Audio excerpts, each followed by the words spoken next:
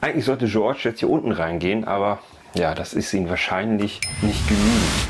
So ein Kallax-Regal gibt es in unterschiedlichen Größen, Varianten, äh, Vierer, Sechser, Einer, Zweier, Fünfer, ich weiß es nicht. Und damit kann man eine ganze Menge anstellen und ich möchte heute mit euch ein Bett bauen. Wir bauen uns quasi das Bettgestell aus Kallax-Regalen und äh, schaffen quasi nochmal zusätzlichen Stauraum und haben eine ganz bequeme Bettsitzhöhe. Ja, wie du das machen kannst, das erfährst du in diesem Video. Ich wünsche dir ganz viel Spaß dabei.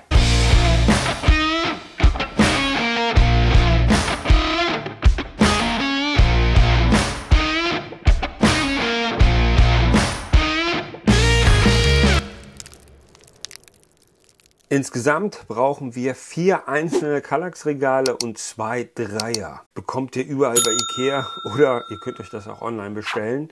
Und dann brauchen wir noch mal ein paar Metallwinkel, insgesamt acht Stück ähm, mit dem Schenkel 50 x 50. Wir könnten natürlich auch größere Winkel nehmen, solche hier, aber davon brauchen wir auch noch mal acht Stück. Die brauchen wir nachher für den Aufsatzrahmen. Das allererste, was wir jetzt machen, ist, dass wir unser Fußboden schützen.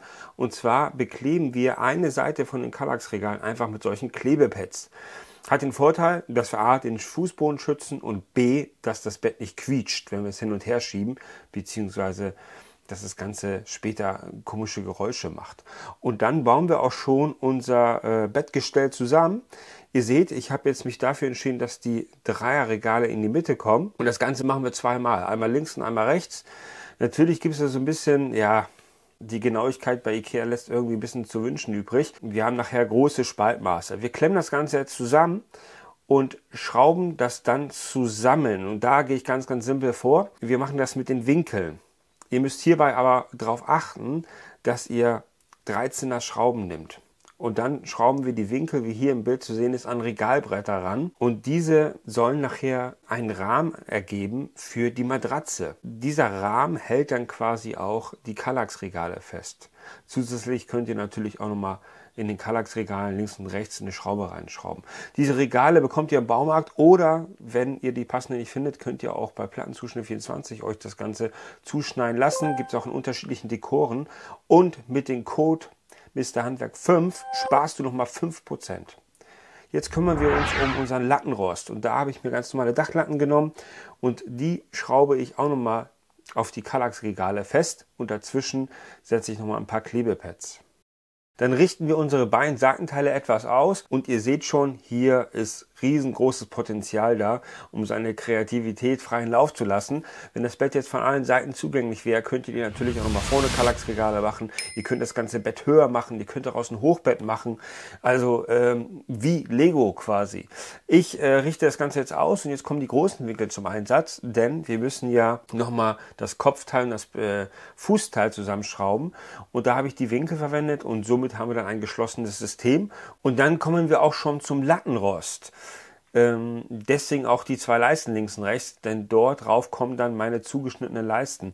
Ist natürlich so ein bisschen die Frage, kauft man sich ein fertiges Lattenrost, baut man sich das selber? Bei den Holzpreisen heutzutage lohnt es sich schon fast, das Lattenrost fertig zu kaufen. Aber wer natürlich eine Werkstatt hat, so wie ich, der kann das Ganze natürlich auch selber zuschneiden und ähm, ja, baut sich quasi das eigene Lattenrost. Also ganz stabil das ganze Ding. Jetzt kann äh, die Matratze rein und ähm, ihr solltet natürlich darauf achten, dass das Brett nicht so hoch ist wie die Matratze, denn sonst tust du dir weh beim Ein- und Aussteigen. Also mindestens 10 cm sollte die Matratze über die Bettumrandung rüberschauen. Dann habe ich noch mal ein paar Einsätze gekauft für die Kallax-Regale, unter anderem ein Katzenhaus und unter anderem noch ein paar Türen, damit man den Inhalt des Kallax-Regals nicht sieht. Und am Ende fallen die großen Spaltmaße auch fast gar nicht mehr auf. So, eine kurze äh, Liegeprobe. Ja, ich bin zufrieden. Das Ganze ist wirklich sehr bequem.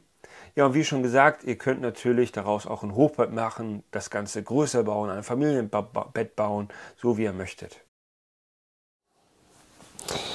George, komm runter. Komm. Ja, der Kater will spielen.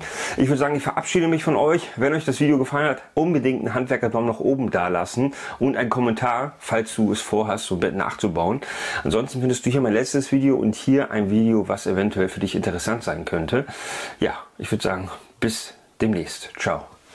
George, komm raus. Komm. Komm runter. Komm runter. Oh nee. Komm.